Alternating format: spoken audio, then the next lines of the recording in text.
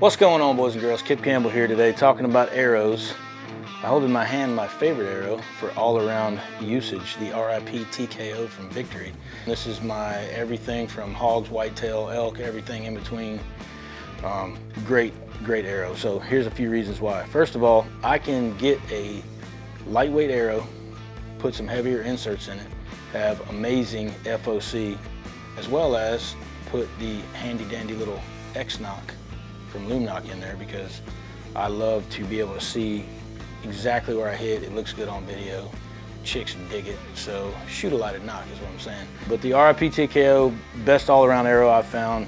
I'll throw 90 grains in the front of it along with a 100 grain broadhead, giving me right around 16% FOC uh, for a total weight. I believe this one right here, the, the total weight, it's gonna be right at 475 if I remember correctly.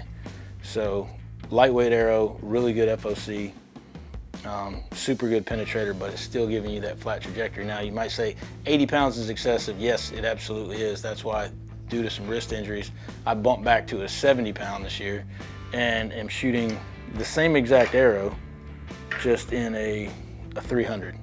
So almost identical stat wise, just a little bit less stiff of a spine.